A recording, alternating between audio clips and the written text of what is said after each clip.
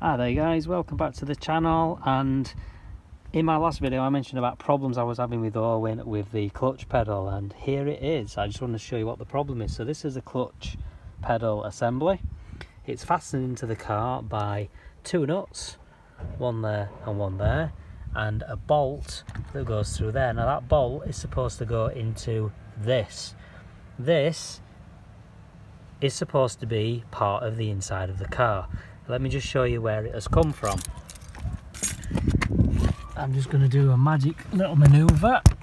Hopefully my camera will focus. So this is up under the dashboard. There is the steering column and there is the hole where this is supposed to go. So that is supposed to be positioned if I can just get it to balance.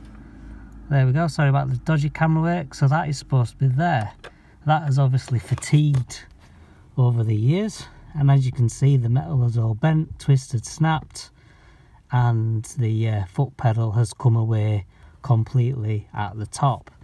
So how am I going to repair it? Well the only option I've got is to weld it.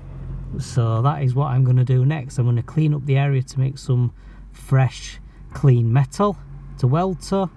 I've got to try and bend it to the correct shape and weld it but then what I'm also going to do is I'm going to weld over a plate over the top of it with a hole drilled through to try and give it some additional strength because uh, obviously it's well weak from uh, 37 years of driving. I've talked to my mate Andy who I bought the car off he reckons he doesn't know the exact mileage, but he reckons it's done over 200,000 miles. Obviously not on this engine, this engine's much newer.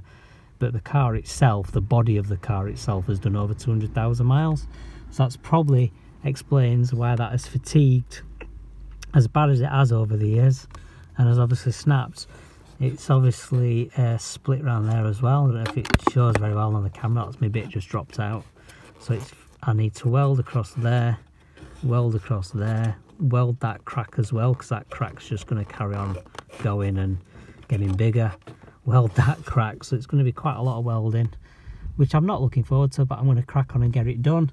So once I've uh, got to a bit of a better position I'll come back to you do another video and I'll upload it. So if you don't want to miss it please subscribe click the notification bell and uh, you'll not miss anything all right. Thanks for watching guys. See you next time. Bye